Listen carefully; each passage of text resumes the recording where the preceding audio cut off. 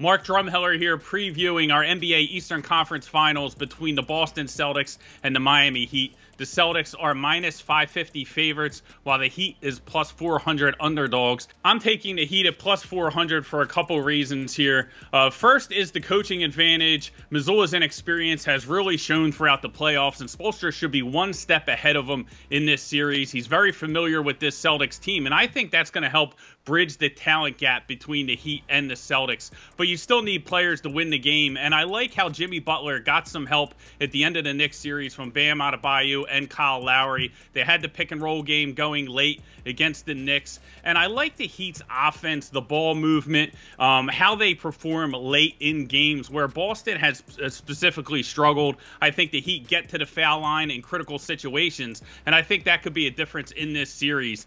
And I also like that the Heat have been resting while the Celtics have failed to put teams away. They took Atlanta to six games. They had to play a game seven against Philadelphia.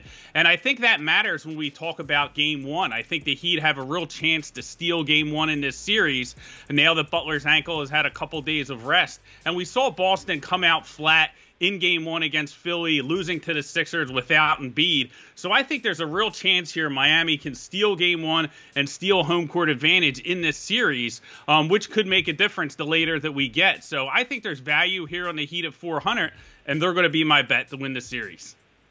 Bet $10 and win $100 when you wager on any event. Sign up at betmgm.com slash yahoo special. New customers only must be 21 or older. Thank you.